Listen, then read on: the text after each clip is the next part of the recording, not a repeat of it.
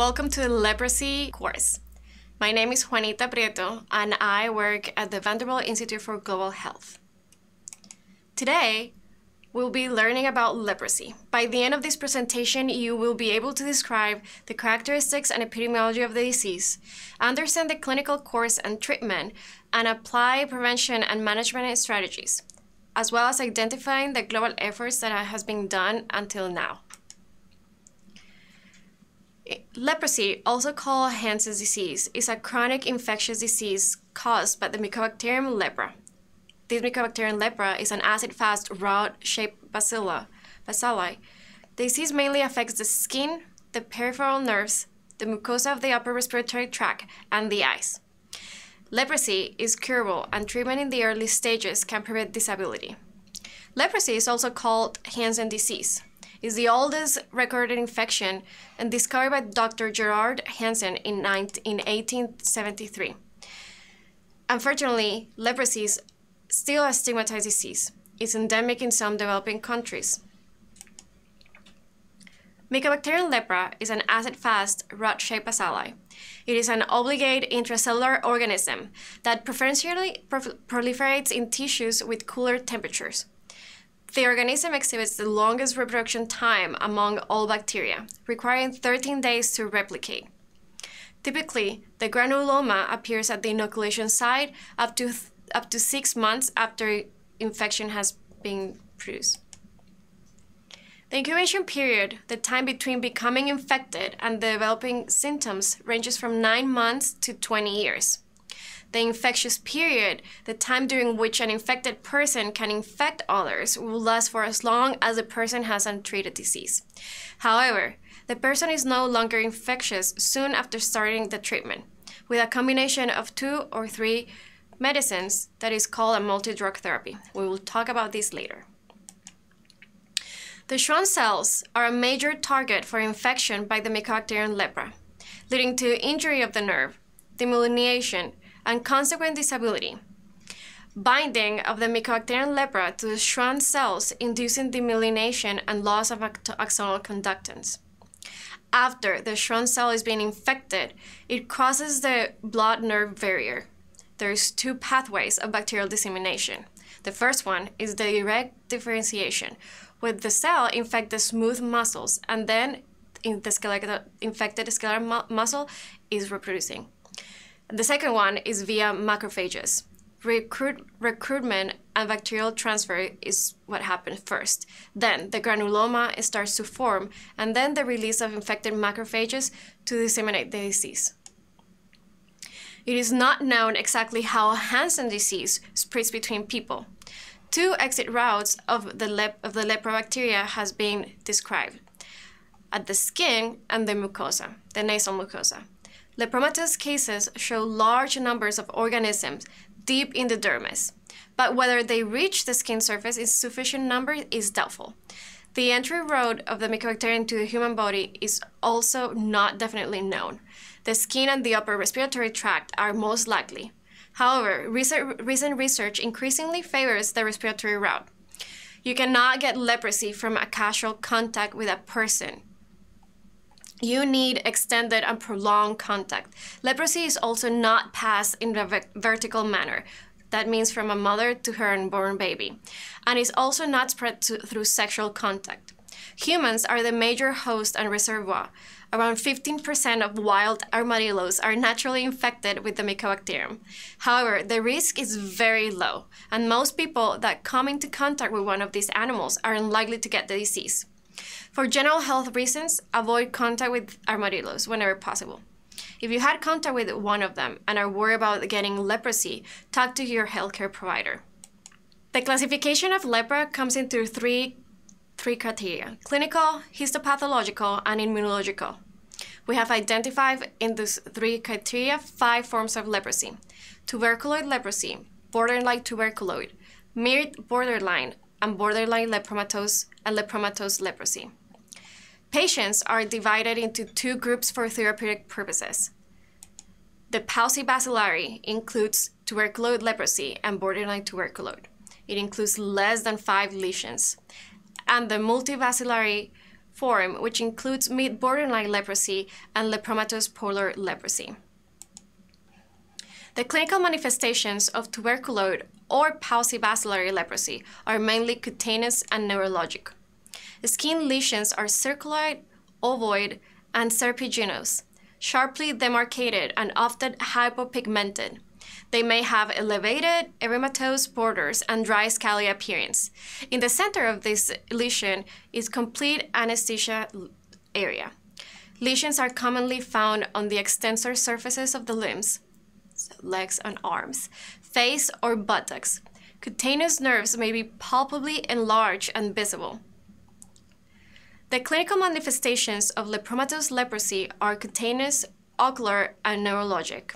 Skin changes are more extensive than in the tuberculosis form. Patients may show extensive bilaterally symmetric non-anesthetic skin lesions with macules, nodules, plaques, or papules. Bullous or ulcerated lesions may also be seen.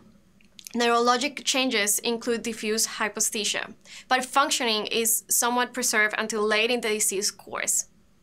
Ocular manifestations of leprosy are very diverse, but the most common findings are reduced corneal sensation, avascular keratitis, and interstitial keratitis. Beading or opaque corneal nerves and conjunctival or episcleral hyperemia is very common, and the loss of eyebrows as well. The table shows more in detail the clinical features of the different subtypes of leprosy that we have discussed so far. Please review this thoroughly after a presentation. Now on diagnosis, histological findings are usually formed from a skin biopsy and vary based on the type of leprosy. Tuberculoid leprosy is characterized by non-caseating granulomas. Destruction of the dermal nerves and loss of sweat glands and hair follicles are present. Lepromatous leprosy demonstrates a normal epidermis, subepidermal granulomas, particularly around blood vessels, nerves, and skin appendage. Foam cells and many intracellular acid fast bacilli are also present. This slide is showing a lepromatous leprosy cluster of acid fast bacilli in histiocytes and infiltrating nerves.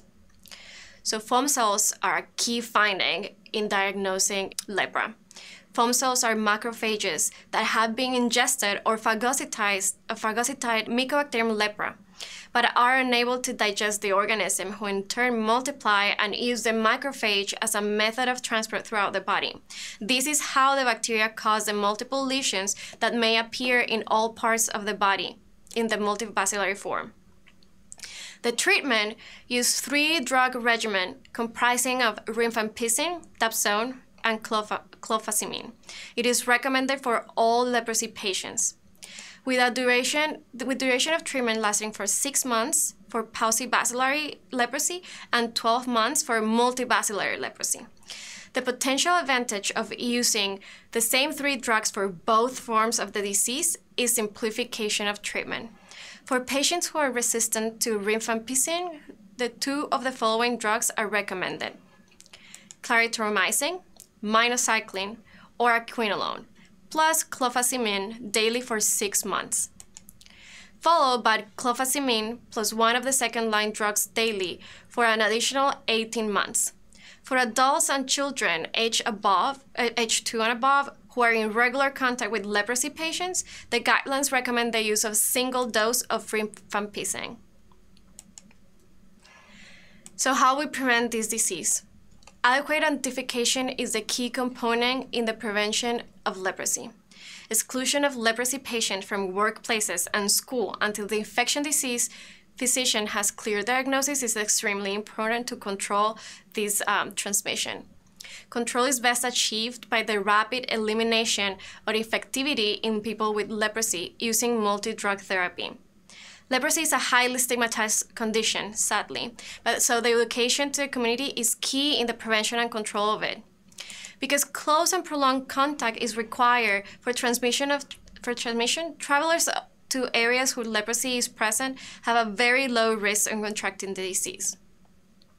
So who is at risk?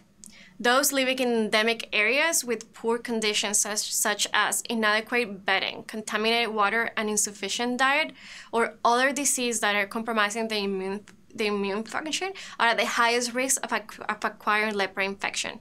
The infection is very rare in the US, and 94% of the world population is actually immune to it.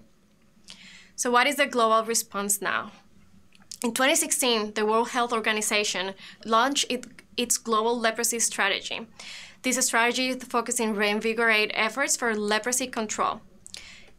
It is targeted by the targets are zero disability among new pediatric patients, a grade 2 disability rate of less than one case per 1 million, and zero countries with legislation allowing discrimination of basis of leprosy. Again, all these three targets have like education in common. The global leprosy strategy is structured around following three core pillars. The first one is to strengthen government ownership, coordination, and partnership. The second one is to stop leprosy and its complications. And the third one is to stop discrimination and promote inclusion. What is the geographical distribution? Leprosy is asymmetrically distributed globally, with the greatest incidence and prevalence in the developing world. Globally, the incidence has fallen by 70% and the prevalence has fallen by 90% since 2000, thanks to aggressive eradication efforts with the multi-drug treatment regimens. It's time for questions. So, which are reservoirs for leprosy? A and C.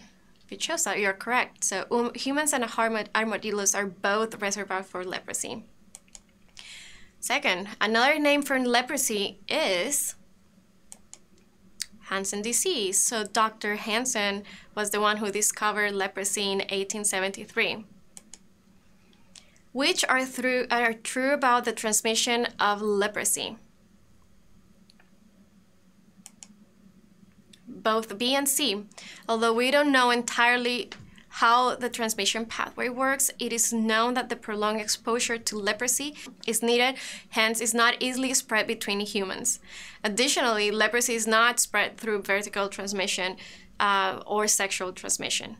So to conclude our presentation, these are our, our takeaway. Leprosy is a chronic disease caused by a bacilli Mycobacterium lepra. The average time of incubation is five years. Symptoms may occur within one year, but it can also take as long as 20 years or more to appear. It mainly affects the skin, the peripheral nerves, the mucosa of the upper respiratory tract, and also the eyes. Leprosy is a curable disease with multi-drug therapy and prevention programs. It is transmitted via droplets from the nose and mouth during close and frequent contact with untreated cases. Untreated leprosy can cause progressive and permanent damage to the skin, nerve, limbs, and eyes, leading to uh, disability. So it's time for a clinical case. A 56 year old male presents to a dermatology clinic, complaining of enlarging nodular lesions on both ears. Upon questioning, he reveals another dermal le- lesion, a small hypopigmented patch on his left thigh.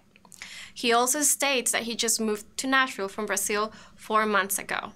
So you have two questions.